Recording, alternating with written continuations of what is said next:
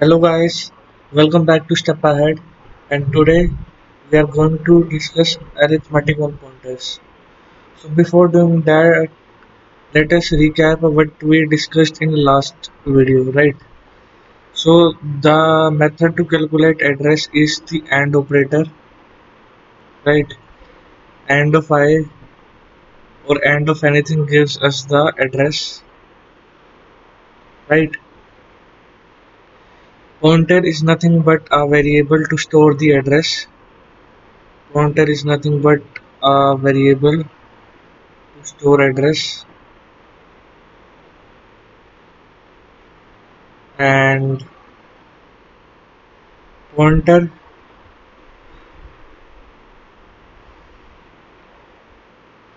stores the address. Let us suppose this is an integer int and it has a size of 11 and it has a address of 400 so pointer stores this and it points to this right? And last thing was dereference operator. So dereference of p gives the value while p gives the address right? And then we discuss the importance of null vector. Right. So this was all we discussed in the last video. If any of you has an, any doubt in this concept you can watch the previous video. I will add the link in the I button above. Right. So now first of all let us discuss what is the size of vector. Right is size of vector and does it depend on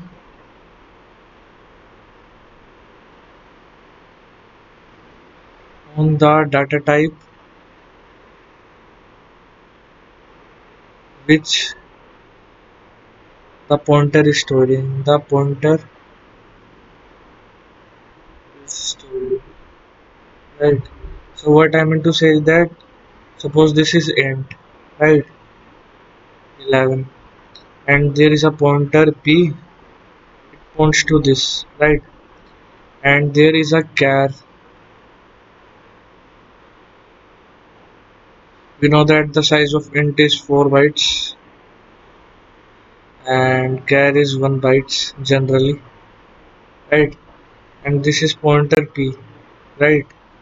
This is point this is let's say this is pointer q right and this is pointed to this char right so the size of both of these will be same or different right will it depend on data type of the value it is storing in itself right एक तो वो कैर का store कर रहा है एक तो वो इंट का स्टोर कर रहा है क्या उस पर डिपेंड करता है कि इसका साइज़ क्या होगा तो एक बार कैलकुलेट करके देखते हैं फिर हम देखते हैं कि क्या हुआ और क्यों हुआ right so let me firstly write the code.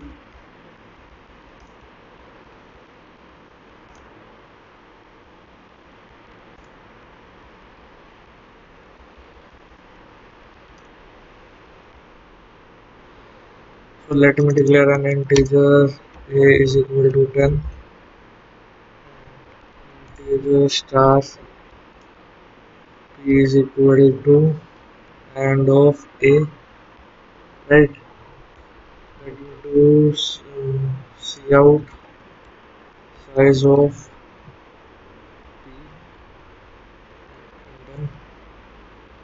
next let me declare a character b. Having uh, let's say storing a. And lastly what we do there let me declare char star is equal to and of b right and let me then see out size of q right. So our code is complete and let us see what is the size. So you can see that the size of pointer is 4 right? Generally it is 8 I don't know why it is showing 4 and so the size of pointer showing in my computer is 4 bytes. Generally it is 8 8 bytes right? And another thing to note is that and the size is same. Right. So, why the size is same? क्या size same होना चाहिए था या नहीं होना चाहिए था? भाई पॉइंटर क्या स्टोर करता है? एड्रेस स्टोर करता है राइट अब एक घर मान लो, एक छोटा घर है। ठीक है? एक बड़ा घर है। जो उसका नेम प्लेट जो उसका एड्रेस होगा नेम प्लेट होगा, वो तो सेम ही होगा ना?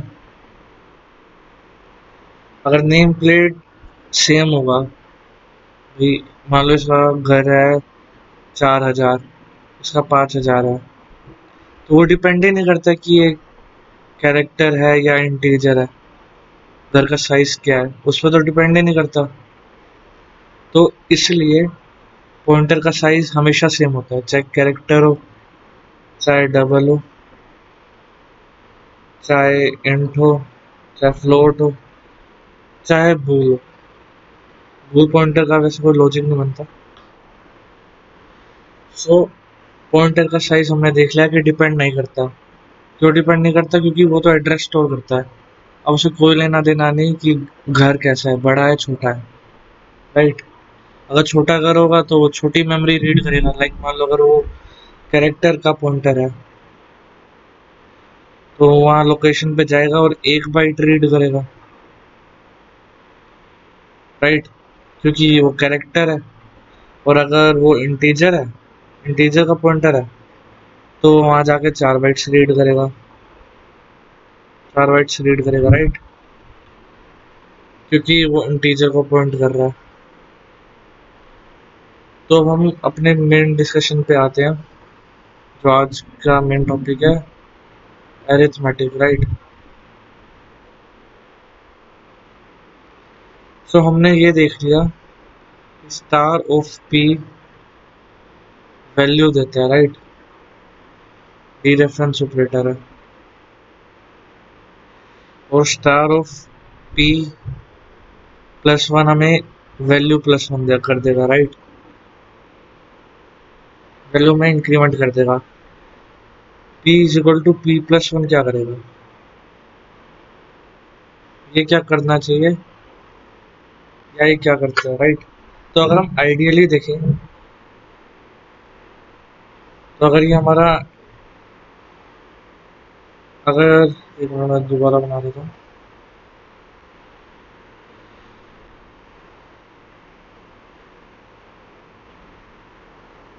अगर ये हमारा इंटीजर राइट तो चार बाइट्स का है ये इंटीजर राइट तो हमारा जो पी है वो यहाँ पे पॉइंट कर रहा है राइट तो p प्लस वन आइडियली यहाँ पे अगले उस पर एलोकेट करना चाहिए राइट मतलब p प्लस वन यहाँ पे आना चाहिए। बट ऐसा नहीं होता है। कंप्यूटर को लगता है कि हम क्या चाहते हैं कि हमें एक अगला इंटीजर दे दो राइट p यहाँ पे पॉइंट कर रहा है। तो कंप्यूटर को लगता है p प्लस वन का मतलब है कि हमें अगला जो इंटीजर मेमोरी है, वो दे दो। हमें इसका एड्रेस बता दो। राइट अगर मान लो कैर है, या डब कैर है, मान लो कैर है तो एक बाइट है। राइट तो पी यहाँ पे पॉइंट कर रहा है। तो कंप्यूटर को क्या लगता है? पी प्लस वन का मतलब है कि जो अगली कैर की एक बाइट है ना लाइक अगला उसे वो कैर रिज्यूम करता है कि अगला कैर है तो वो उसका एड्रेस दे देता है। राइट वैसे ही अगर डबल है तो double generally eight byte store करता है। राइट तो ये मान लो एट बाइट्स है हमारी।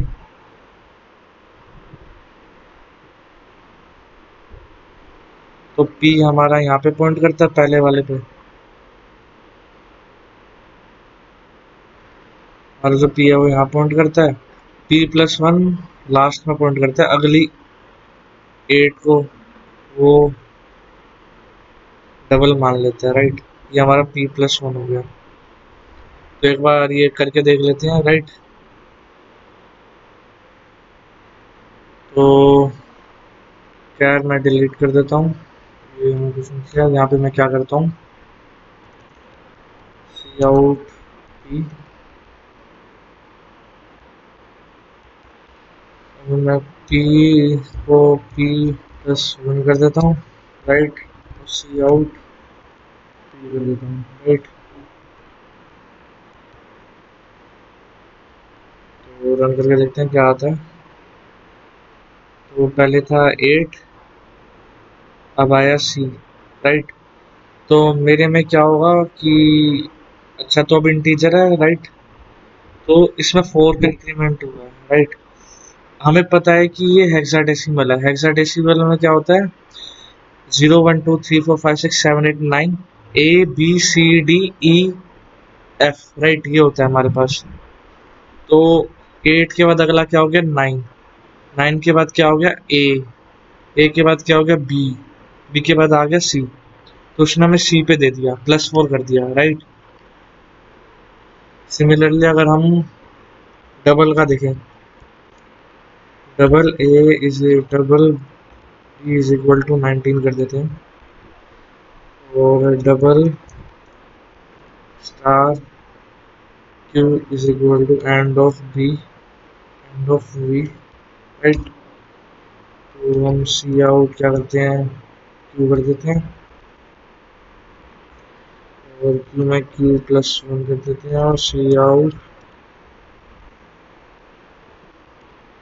कर देते हैं राइट तो देखते हैं क्या आता है। तो हमारे पास पहले था एट और हो गया ज़ीरो राइट ज़ीरो ज़ीरो तो क्या हुआ? एट के बाद आया नाइन फिर आया A B C D E F right अब एफ़ के बाद ज़ीरो हो गया। ज़ीरो के बाद प्लस वन सेकेंड पे गया राइट एक बार ये मैं लिख के बता देता हूँ। ये मैं एड्रेस नोट कर लेता हूँ लास्ट की तीन डिजिट राइट ये स्टार्टिंग का तो सेम है। राइट यहाँ तक तो हमारा सेम है। अब उसके बाद देखते हैं क्या हुआ। तो ई एफ़ एट से बेसिकली क्या हुआ? हमारा ई एफ़ एट से एफ़ ज़ीरो ज़ीरो हो गया राइट तो एट के बाद इंक्रीमेंट हुआ राइट एट का इंक्रीमेंट हुआ राइट तो एट के बाद nine A B C D E F और एफ़ के बाद आया ज़ीरो राइट तो एफ़ के बाद ज़ीरो आएगा तो एक इंक्रीमेंट चला जाएगा यहाँ पे राइट तो हमारे यहाँ पे कोड क्या आ गया? ई e, एफ़ में प्लस वन करना हमने और यहाँ पे आ गया ज़ीरो राइट यहाँ पे प्लस वन अब एफ़ का अगला क्या होता है? ज़ीरो राइट और एक कैरी चला गया आगे। यहाँ पे प्लस वन आ गया और हमारा क्या हो गया? ई ज़ीरो ज़ीरो यहाँ पे प्लस वन और ई e का अगला क्या होता है? एफ़ तो हमारा क्या आ गया? एफ़ ज़ीरो ज़ीरो राइट तो हमने देखा कि डबल अगर एट बाइट स्टोर करता है तो वो आगे दे देता है राइट प्लस एट कर देता है।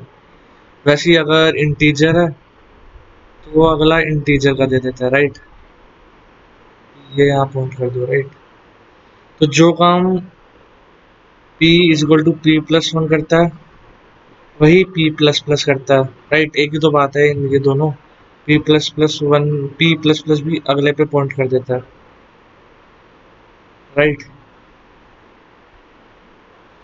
अब हमने ये तो देख लिया ये क्या होता है राइट सही है, अभी बढ़िया होता है। अब एक बार हम माइनस भी देख लेते हैं। माइनस क्या करता है? माइनस कुछ नहीं करता, उल्टा करता है। हमें पी प्लस वन क्या करता है? आगे की मेमोरी दे देता है। लेकिन मान लो ये मेमोरी है राइट पी प्लस वन यहाँ पी यहाँ पॉइंट कर रहा है पी प्लस वन आगे पॉइंट कर रहा है।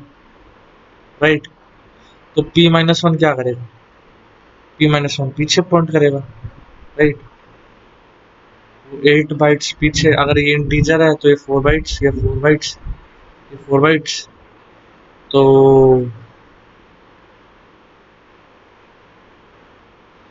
P plus one four bytes आगे पॉइंट करेगा। ये फोर बाइट्स आगे पॉइंट करेगा, यहाँ पे पॉइंट करेगा। और P minus one P minus minus कह लो या तो एक ही बात है। वो फोर बाइट्स पीछे पॉइंट करेगा राइट तो यही कंसेप्ट है, एक बार हम ये भी करके देख लेते हैं कि हम यहाँ क्या करते हैं। क्यू को हटा देते हैं राइट मैं देख लिया। तो मैंने यहाँ पे, मैं यहाँ पे हम पी प्लस वन कर सकते हैं तो एक बार ये देख लेते हैं, अगर मान लो। पी प्लस वन का क्या मतलब है? ये चार बाइट्स हैं। अगली चार बाइट्स पे पॉइंट करेगा राइट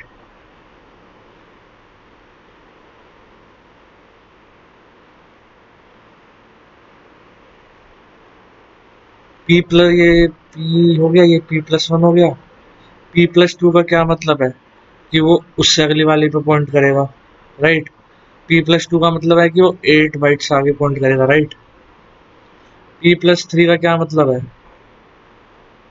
सॉरी यहाँ पे ये हो गया। पी प्लस ये तो पी प्लस वन हो गया। ये पी प्लस टू हो गया। ये पी प्लस थ्री हो गया।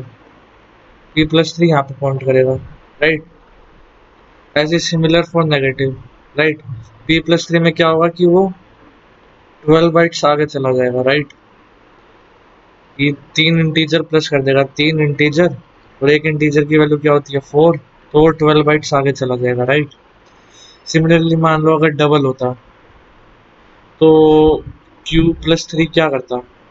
Three into eight twenty four bytes आगे पॉइंट करता राइट ये हम करके देख लेते हैं राइट तो मैं क्या करता हूँ, मैं पी में प्लस थ्री कर देता हूँ राइट यहाँ पे मैंने सी आउट भी कर लिया। अब मैं क्या करता हूँ? पी में थ्री माइनस कर देता हूँ।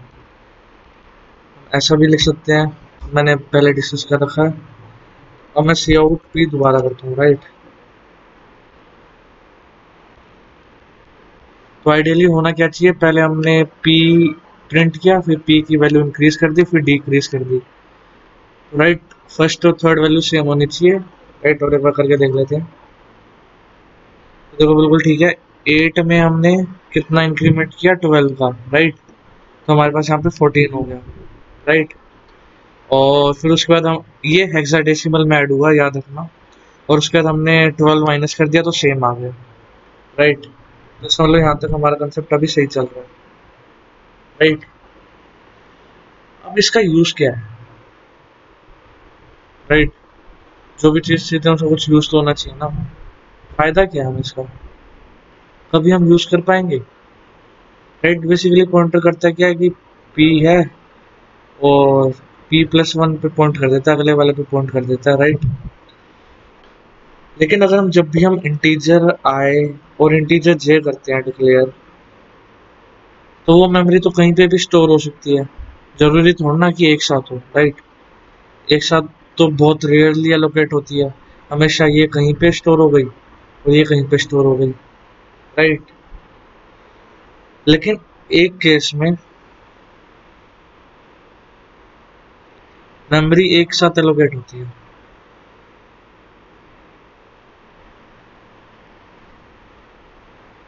वो होता है एरे में। एरे में क्या होता है? मान लो ए फोर है तो क्या होता है? चार इंटीजर एक साथ, ये पूरा एक इंटीजर है राइट ये एक बाइट नहीं है, ये एक इंटीजर है पूरा। ये चार बाइट्स हैं। ये दूसरा इंटीजर ये तीसरा इंटीजर ये चौथा इंटीजर ये फोर्थ इंटीजर तो ये सारे एक साथ एलोकेट होते हैं राइट तो उस केस में पी यहाँ पे पॉइंट कर रहा है। पी प्लस वन अगले इंटीजर पे पॉइंट करेगा।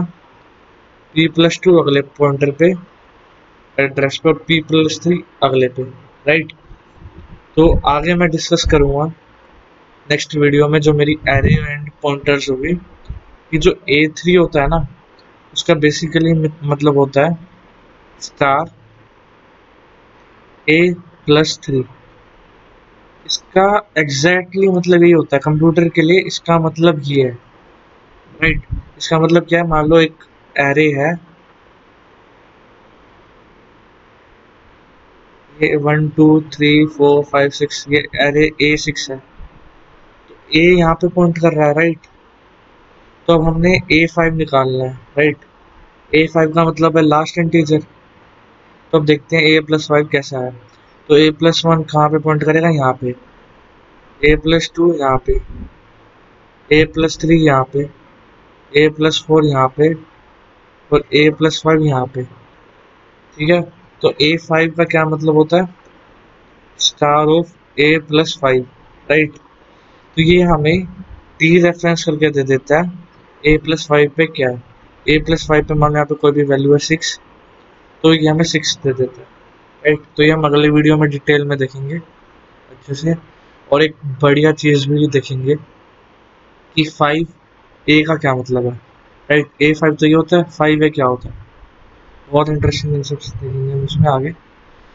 तो अब एक क्वेश्चन डिस्कस करते हैं राइट कंसेप्ट हमने काफ़ी देख लिए अब एक छोटा सा क्वेश्चन और फिर वीडियो एंड करते हैं, ताकि हमें कंसेप्ट क्लैरिटी हो जाए। तो क्वेश्चन है कि हमने क्या किया? पहले एक इंटीजर ए डिक्लेयर कर दिया राइट हमने इंटीजर बी डिक्लेयर कर दिया two right integer C declare कर दिया थ्री ठीक है? अब हमने क्या कर दिया? एक इंटी पॉइंटर डिक्लेयर कर दिया पी राइट हमें कभी भी ऐसे डिक्लेयर करना नहीं चाहिए right but for concept clarity हम एक बार ऐसे पॉइंट कर देते हैं कि देखते हैं होता क्या है राइट हमें हमेशा नल यूज़ करना चाहिए राइट जैसे हमने इंटीजर स्टार क्यू डिक्लेयर कर दिया राइट ये हमने डिक्लेयर कर दिया। अब हम करते क्या? अब हम करते हैं। पी को हम कर देते हैं and of A right Q को हम कर देते हैं एंड ऑफ़ बी राइट तो उसके बाद पहले हमें क्या बताना है? Cout star of P right cout star of Q right और उसके बाद हम क्या करते हैं? C is equal to star of P right उसके बाद हम क्या करते हैं?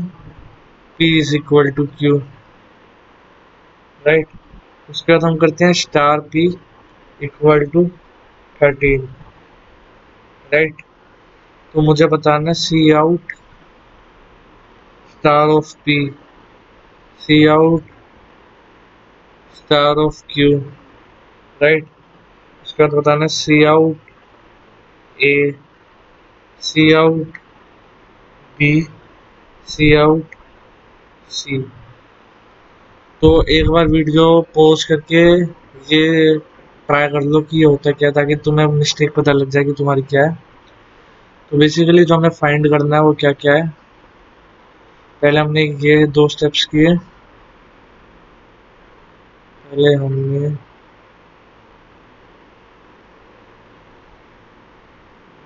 पहले हमने ये स्टेप किया। फिर हमने ये प्रिंट करना है, इसकी वैल्यू बतानी है। तो हमने ये स्टेप्स किए राइट उसके बाद हमने ये वैल्यू बतानी है कि ए बी सी और पी और स्टार पी और स्टार क्यू में क्या होगा राइट तो आई होप आपने वीडियो पोस्ट कर ली होगी एंड ये ट्राई करने का सॉल्व किया होगा। तो हम देखते हैं क्या हुआ। तो पहले क्या हुआ, हमने integer equal to one declare हुआ तो एक बन गया, एक इंटीजर बन गया, जिसकी मैं हम हंड्रेड मान लेते हैं, और वहाँ पे वन स्टोर हो गया। और मान लो ये साथ में एक सिंबल टेबल चल रही है हमारी यहीं पे ही, हमने लिख दिया A points to hundred right अगले स्टेप में क्या हुआ? बी डिक्लेयर हो गया। उसमें टू है, मान लो इसकी वैल्यू टू हंड्रेड है, और बी के करस्पॉन्डिंग यहाँ पे टू हंड्रेड आ गया। राइट सी डिक्लेयर हुआ। तो मान लो ये थ्री है, और यहाँ पे 300 है, और सी को हमने करस्पॉन्डिंगली 300 लिख दिया राइट यहाँ तक बढ़िया राइट अब हमने पॉइंटर पी डिक्लेयर कर दिया। कर दो भाई पी डिक्लेयर कर दो। बड़ी बात क्या है? हमने मान लो इसे क्या दे देते हैं? हम इसे दे देते हैं 580 तो हमने यहाँ पे लिख दिया पी 580 है। और हमने इनिशियलाइज तो किया नहीं है तो यहाँ पे कोई गार्बेज वैल्यू होगी। बढ़िया भैया, कोई गार्बेज वैल्यू अब हमने क्यू के साथ भी सेम किया। यहाँ पे मान लो इसकी सिक्स एट्टी है लोकेशन हमने यहाँ लिख दिया क्यू सिक्स एट्टी है। और यहाँ पे भी कोई गार्बेज वैल्यू होगी राइट अब आते हैं जो हमने स्टेप्स किया परफॉर्म राइट पहला हमने क्या किया? पी पी में हमने क्या स्टोर कर दिया? एड्रेस ऑफ़ ए राइट तो हमारा पी था 580 पे। तो 580 पे हम गए, ये हटा दिया हमने। और हमने एड्रेस क्या लिख दिया? ए का। ए का एड्रेस है हंड्रेड राइट चलो भाई, ये हो गया हमारा। अब हम गए, हम हमने क्या किया अगले स्टेप में? Q is to and of B हमने कहा क्यू सिक्स एट्टी पे है। बढ़िया भाई। क्यू पे गए, उड़ा दिया। एंड ऑफ़ बी कर दिया right address of B store कर दिया बी का एड्रेस क्या है? टू हंड्रेड टू हंड्रेड हमने स्टोर कर दिया। चलो भाई, बढ़िया, ये स्टेप भी हो गया। अब आता है भाई पहला क्वेश्चन क्या कहता है भाई? स्टार ऑफ़ पी मतलब पी के एड्रेस के पास कौन सी वैल्यू है, ये बता दो भाई। तो भाई पी कहाँ पे है? पी है फाइव एट्टी पे। फाइव एट्टी हंड्रेड स्टोर करके हंड्रेड पे जाओ भाई, फटाफट। हंड्रेड पे गए। अरे भाई इसमें तो वन है। तो यहाँ पे आ जाएगा वन राइट चलो भाई, अगला। भाई, ऐसे क्यू के साथ भी सेम करो। भाई, क्यू कहाँ पे सिक्स एट्टी सिक्स एट्टी पे भी तेरे तूने दो सौ स्टोर कर रखा है। तो टू हंड्रेड पे गए फटाफट। भाई, कौन सी वाली स्टोर है? टू तो भाई टू प्रिंट कर दो भाई फटाफट।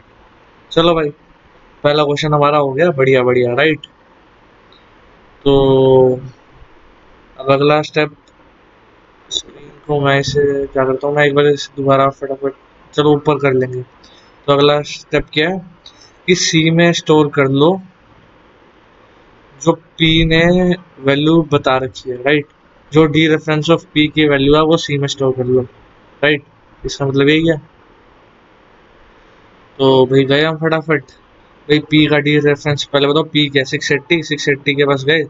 भाई टू टू को किसमें स्टोर करना है? सी में राइट यहाँ पे है टू को किसमें स्टोर करना है? सी में राइट तो सी में गए फटाफट। सी कहाँ पे तीन सौ पे तीन सौ पे थ्री पे फिर थ्री की बजाय टू कर दो।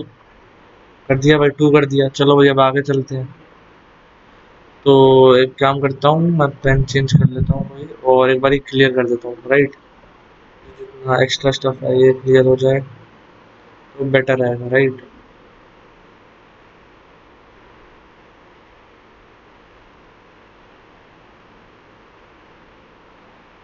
तो चलो अब आगे चलते हैं राइट तो ये स्टेप हमने कर लिया राइट अब आता है P is equal to Q right एक बार ये कंसेप्ट मैंने अभी तक डिस्कस नहीं किया तो जो लोग अब तक रुके होंगे वीडियो में, उनको पता लग जाएगा। तो इसका मतलब क्या है? कि दो पॉइंटर्स हैं, P और Q राइट हमारे पास P इक्वल टू क्यू क्या? पॉइंटर्स को बराबर कर दो? नहीं, इसका मतलब ये नहीं होता। इसका मतलब ये नहीं होता कि दोनों का बराबर कर दो राइट दोनों को बराबर कैसे कर सकते हैं? राइट दोनों नहीं कर सकते ना? तो इसका मतलब होता है कि जहाँ पे क्यू पॉइंट कर रहा है ना, वहीं पे पी को पॉइंट करा दो। राइट बेसिकली तुम कह ही सकते हो, क्या मतलब है? कि मान लो क्यू है, यहाँ पे कोई एड्रेस है और यहाँ पे पी है तो यहाँ पे मान लो कोई और एड्रेस है। तो इस एड्रेस को यहाँ पे लिख दो। राइट काइंड ऑफ़ कॉपी कह सकते हो। राइट अब दोनों के पास सेम एड्रेस हो गया। राइट इसका मतलब ये पॉइंटर बराबर करने का वैसे कोई लॉजिकल मीनिंग ना है, सोचे अगर हम। मैं मान लो दो पॉइंटर है। इनको बराबर कर दो मतलब। राइट नहीं, ऐसा नहीं है। इसका मतलब है कि वैल्यू स्टोर कर दो। जस्ट लाइक इंटीजर में करते हैं राइट कि वैल्यू रेप्लीकेट कर दो। राइट इस केस में बस एड्रेस कॉपी करना राइट तो ये हटा देता हूँ। तो हम कर लेते हैं। तो इसमें क्या है? पी में वही एड्रेस स्टोर करो जो क्यू में है राइट तो क्यू हमारा सिक्स एट्टी है। तो यहीं पर टू हंड्रेड स्टोर कर दो। राइट ठीक है? अब ये स्टेप भी हो गया। अब क्या है? कि जो पी, की जहाँ पे पी पॉइंट कर रहा है ना, वहाँ पे थर्टीन कर दो। राइट अब हम पी के पास गए। पी है फाइव एट्टी पे। फाइव एट्टी कहाँ पॉइंट कर रहा है? टू हंड्रेड पे। टू हंड्रेड पे गए। वहाँ पे हमने कट कर दिया। वहाँ पे हमने थर्टीन कर दिया। राइट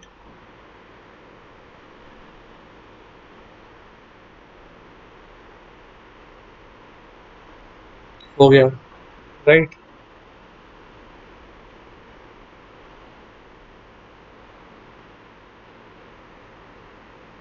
तो अब लास्ट स्टेप पे चलते हैं। हमने पी क्यू अब सारे क्वेश्चंस कर लोगे तुम राइट तो एक बार ट्राई कर लेना। ज़्यादा कुछ था नहीं मुश्किल इसमें। राइट तो ए बी सी हो गया हमारा। राइट बस यही था।